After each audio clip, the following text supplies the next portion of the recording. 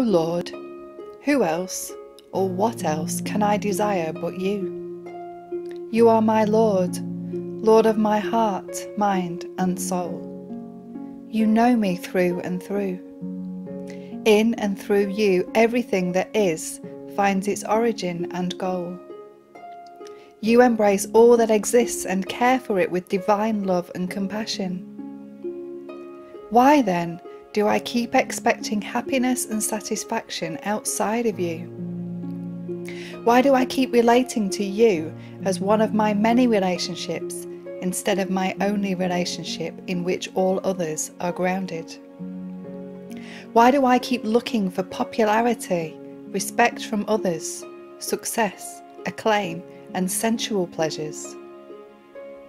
Why, Lord, is it so hard for me to make you the only one? Why do I keep hesitating to surrender myself totally to you?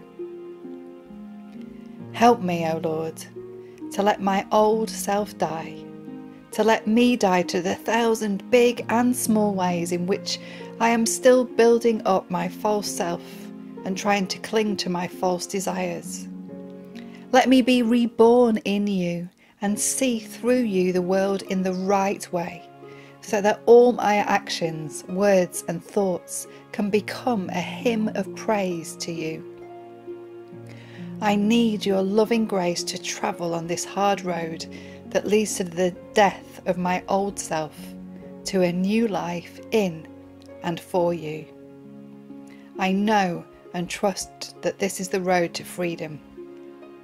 Lord, dispel my mistrust and help me become a trusting friend. Amen.